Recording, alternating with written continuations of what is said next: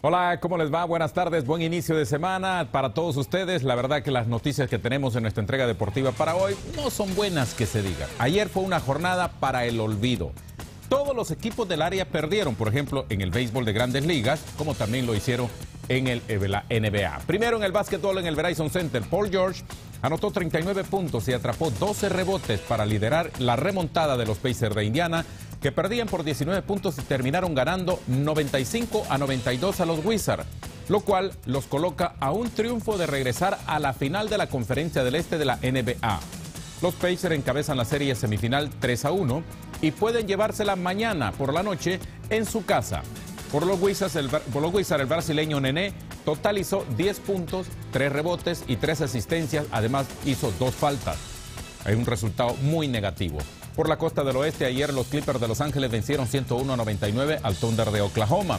Hoy, Nets recibe al Heat de Miami. Una victoria de Heat ya va a la final. Y los tres Blazers de Portland van a enfrentar a los Spurs de San Antonio, que también están ganando la serie 3 a 0. Con una victoria, los Spurs ya están en la final de la conferencia del oeste. Así que los Wizards se le complicó que se vieron muy bien de visita, pero local no pasó nada. Ahora tienen que volver a lo que hicieron los primeros partidos para poder clasificar y remontar ese 3 a 1.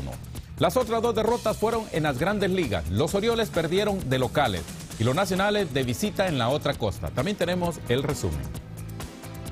En Oakland, Derek Norris conectó un par de cuadrangulares cada uno de los cuales produjo tres carreras y los Atléticos arrollaron ayer 9-1 a los Nacionales para completar la barrida en la serie. Los dos honrones de Norris llegaron en situaciones idénticas, con dos outs y cuentas de 3-0 ante el otrora abridor de Oakland, Gio González. Ambos peloteros fueron parte de un canje realizado en el 2011 entre los dos clubes. Por los nacionales, el venezolano José Lobatón batió de 3-1. La otra derrota se dio en el Camden Yard, donde Jason Castro y Mark Krause jonronearon para producir todas las carreras de los Astros y Houston se impuso 5-2 a los Orioles de Baltimore para evitar una barrida en tres juegos. Jared Cosar toleró solamente dos carreras y ocho hits en seis episodios para los Astros, que habían perdido 7 de 8 antes de frenar en 5 la racha de triunfo de los Orioles. Para hoy, los Orioles siguen en casa, porque esta noche reciben en otra serie a los Tigres de Detroit. Bueno, con el hecho de haber perdido no significa que andan mal, no, en el béisbol están muy bien. Los invito a que sigan participando para los boletos y ver el fútbol premundial y gratis.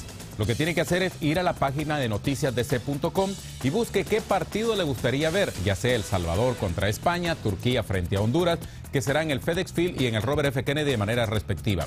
Tiene hasta el 19 de mayo para participar. Esta noche le vamos a dar más ganadores. Recuerde, solo puede elegir un partido, Honduras contra Turquía o El Salvador frente a España.